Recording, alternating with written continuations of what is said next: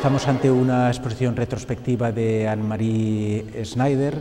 eh, una artista muy poco conocida fuera de su entorno, que no ha expuesto demasiado, a pesar de que, como eh, podemos comprobar a partir de esta exposición, tiene una obra ya bastante completa. Una obra que empezó eh, a finales de los 80, principios de los 90, que ha sido muy sistemática y que tiene un elemento central en la obra, que es el dibujo. El dibujo es eh, muy importante para muchos artistas jóvenes. Es importante porque, de algún modo, en una época hipertecnificada como la nuestra, el volver a algo que tiene que ver con el trazo, que tiene que ver con la escritura, que tiene que ver con la inmediatez es eh, fundamental. Es de algún modo situarse a la contra eh, de lo que es eh, la tendencia general. Decimos, por tanto, que el dibujo tiene dos elementos, la inmediatez, hay un elemento personal, hay un elemento autobiográfico, pero autobiográfico no en el sentido anecdótico de que cada dibujo representa un elemento,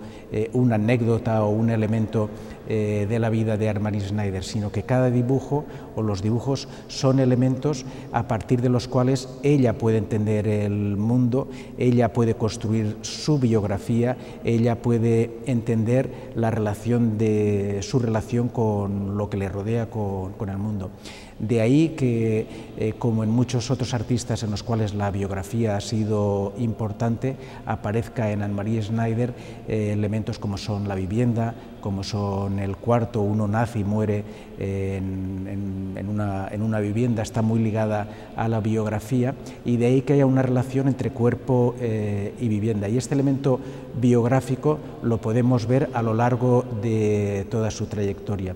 Eh, hay alguna, eh, alguna excepción, como cuando a mediados de los 90 refleja la expulsión de unos sin papeles de una iglesia en París y que por primera vez, digamos, hace, eh, refleja su trabajo, algo que está ocurriendo en el exterior, pero aún así este reflejar lo que está ocurriendo en el interior tiene un elemento siempre muy personal. Este es un aspecto. El segundo aspecto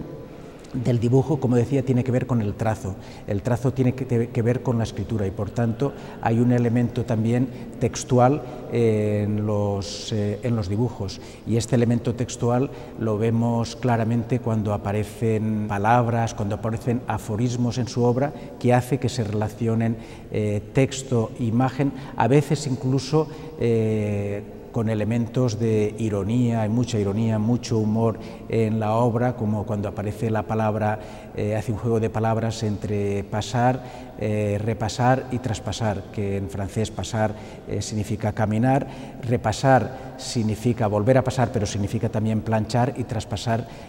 tiene otros significados, de traspasar en francés es muerte. Y este juego de palabras tiene una concatenación en un juego de imágenes. Eh, que es la imagen de la plancha, eh, que se transforma en la imagen de una vivienda, que se transforma en la imagen de un nicho. Y este es otro aspecto importante los dibujos de Anne-Marie Schneider, porque hay un elemento eh, de, consecución formal. Una forma va llevando eh, a la otra, eh, casi como si estuvieran en, contacto, con lo cual no hay una separación de las formas. Eh, aquello que decíamos que el personaje se transforma en casa, la casa se puede transformar en una ciudad y este elemento de continua permeabilidad es algo que es constante en la obra de Anne-Marie Schneider y que creo que es bastante significativo a la hora de ver la fuerza poética de su trabajo.